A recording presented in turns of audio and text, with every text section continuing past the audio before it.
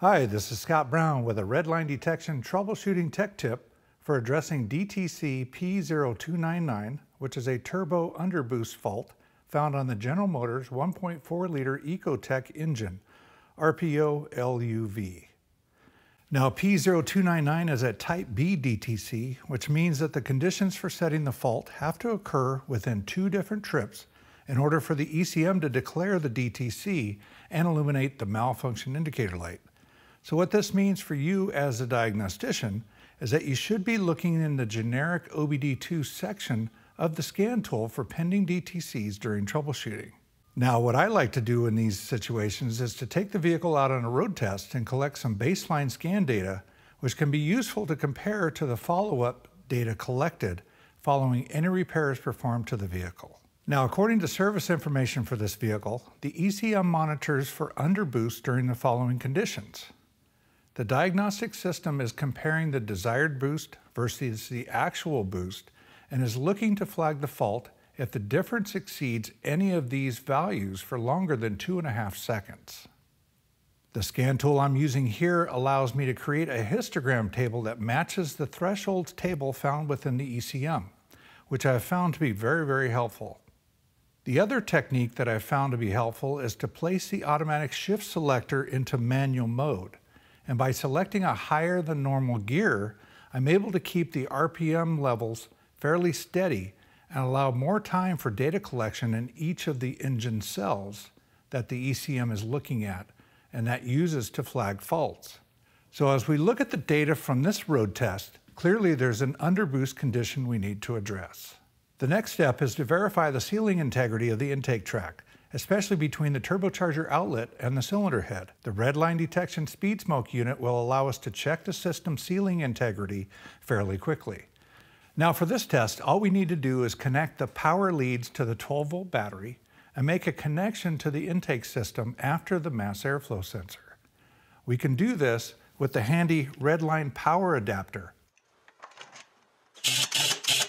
Now we want to place the power adapter switch in the turbo high pressure position, and with the hose connected to the power adapter, select the vapor test and dial in 5 psi on the regulator, and then open the flow control valve and begin inspecting for leaks.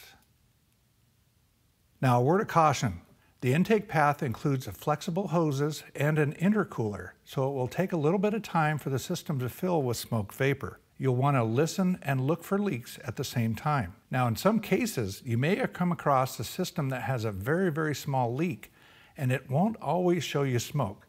So you may want to try wiggling the hose connections and see if a leak can be uncovered. Now, in this case, I can hear and see smoke coming from the throttle body area. Checking the screw clamp torque revealed a loose clamp. But before tightening the clamp, You'll want to take note of the leak flow rate so you can see what kind of reductions you're achieving. Now keep in mind that just because you find one leak, that doesn't mean that there might be others. You'll want to visually inspect all the other connections as well and use the flow meter to your advantage.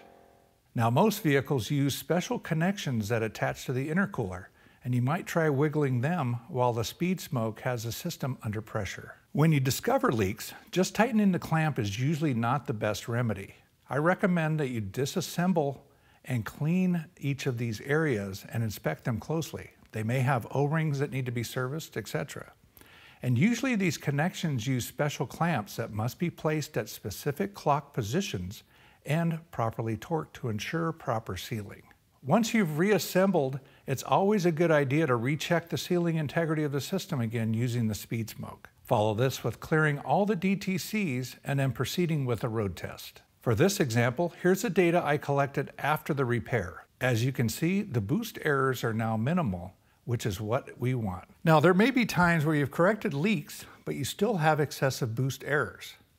In these cases, you want to take a close look at the wastegate control mechanisms, which include the wastegate actuator, the wastegate control rod, the wastegate lever, and the wastegate valve and seat integral of the turbocharger.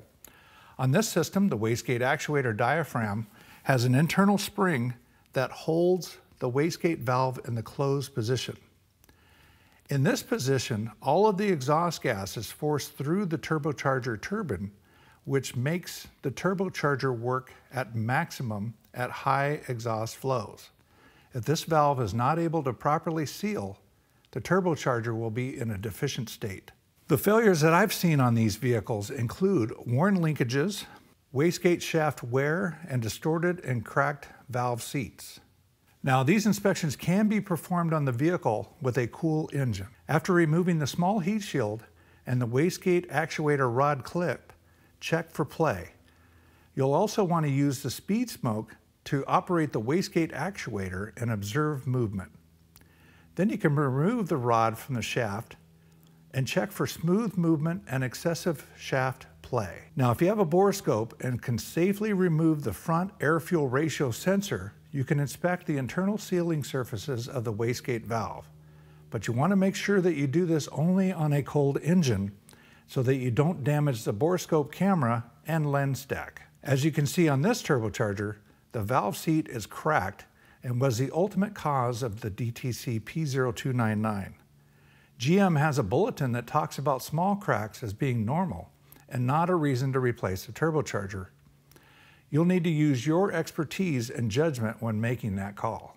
We hope you found this video helpful and informative. If you have any questions or comments, please leave them below, and thanks for watching.